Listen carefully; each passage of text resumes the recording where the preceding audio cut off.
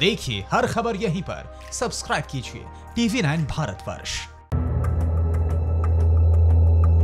समुद्र जगत की दुनिया भी अनूठी है। यहाँ तमाम प्रकार के समुद्री जीव हैं, कई तरह की मछलियाँ हैं। यहाँ छोटे से लेकर विशालकाय मछलियों की भरमार है। बड़ी मछली की बात करें तो वेल आकार और वज़न में खासी बड़ी होती है।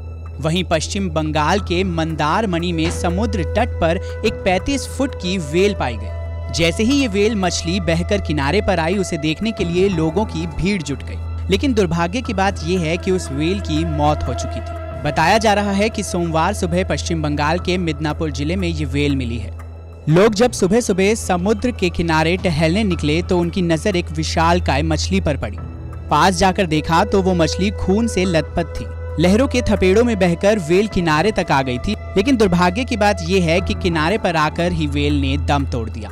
वैसे तो ज़्यादातर वेल मछलियाँ गहरे पानी में रहती हैं, लेकिन कभी कभी वेल मछली पानी के बड़े बड़े जहाजों की चपेट में आ जाती हैं। कुछ ऐसा ही शायद इस मछली के साथ भी हुआ।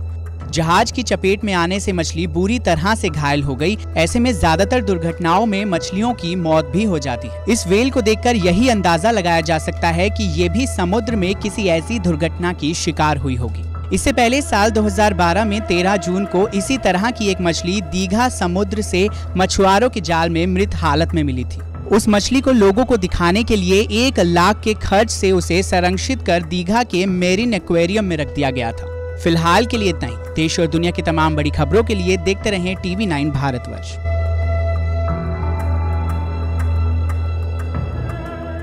फ़िक्र आपकी। सोमवार से शुक्रवार, रात 9 बजे, सिर्फ़ टीवी नाइन भारत वर्ष पर।